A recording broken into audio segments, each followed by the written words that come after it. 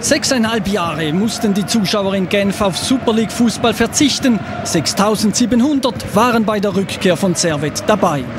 Der Aufsteiger ganz in Weiß mit nur wenigen Änderungen im Kader gegenüber der letzten Saison. Man will den Aufstiegsschwung mitnehmen, kam aber gleich unter Druck nach der Flanke von Lustrinelli auf Stefan Andrist. Dieser im Zusammenspiel mit drei Mann wieder Andrist mit Zeit und Platz zum Flanken. Schneuli, Tor! 0 zu 1 nach 70 Sekunden. Christian Schneuli von IBE gekommen, schießt Thun in Führung. Ja, hallo Servet, willkommen in der Super League. Da wird einfach nur Zuschauen am und im eigenen Strafraum bestraft. Perfekter Auftakt für Thun-Trainer Bernard Chaland. Wenig später Eckball Schneuli, Lustrinelli 0-2 nach neun Minuten. Ja, gibt's denn das? Der Rückkehrer, wie man ihn kennt, ein Vollblutstürmer mit dem richtigen Torriecher, auch mit 35 Jahren. Servets Natter mit der unfreiwilligen Vorlage für Mauro Lustrinelli. Servet-Trainer Joao Alves mit Sonnenbrille, als wollte er sich das Spiel schön sehen. Er reagierte, nahm schon nach 19 Minuten Jerome Schneider raus und brachte Lionel Pizzinat, der 1999 mit Servet Meister geworden war. Der Aufsteiger wurde nach dem Startschock besser.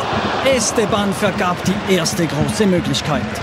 Das Spiel nun ausgeglichen. Freistoß Servet de Acevedo, Kopfball Rutis und der Anschlusstreffer. Christopher Rutis mit dem 1 zu 2 nach einer halben Stunde. Der Franzose erwischte mit seinem Kopfball Tunkeeper David da Costa. Die Hoffnung war zurück im Stade de Genève. Und Esteban hatte wenig später gar den Ausgleich auf dem Fuß, der einstige U21-Internationale vergab. Dann aber ein Aussetzer von Diallo. Lustrinelli zog los. In der Mitte Andrist. Stefan Andrist. Ohne Worte.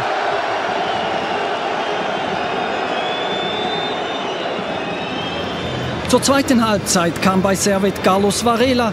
Der bringt ja meist etwas Farbe ins Spiel. Zuerst aber Julian Esteban, der begnadete Fußballer, der so oft verletzt ist. Mit der schönen Hereingabe de Acevedo kam knapp zu spät. Die erste Aktion von Carlos Varela. Hier am Ball. Schön die Hereingabe auf Ödis und den Kopfball seien viele schon drin, war aber nur Außennetz.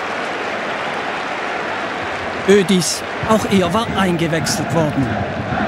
Joao Alves trieb sein Team nach vorne, doch Servet brachte nicht mehr viel zustande. Wir sind bereits in der Nachspielzeit. Schlauri mit dem weiten Einwurf. Ödis und Da Costa musste sich nochmals ganz lang machen, um den Ausgleich zu verhindern. Es blieb beim 1 zu 2. Servet büßte für die katastrophale Anfangsphase. Ja klar, die erste Ballberührung war nach dem ersten Tor. Es ging schlecht los für die ganze Mannschaft. Und wenn man so beginnt, ist es natürlich nicht einfach. Ja, es war ein super Auftakt. Ich glaube, nach acht Minuten war es schon 2-0. Und äh, für uns hat das Spiel gut angefangen. Wir haben äh, sehr aggressiv gespielt, hoch äh, angegriffen und äh, es hat sich belohnt zum Glück. Und auch für euch persönlich natürlich grosse Zufriedenheit, oder? Ja, super. Ich hätte mir nicht schöner vorstellen und er ist natürlich top. So jubelte in Genf nur eine kleine Gruppe. Servet Thun 1 zu 2.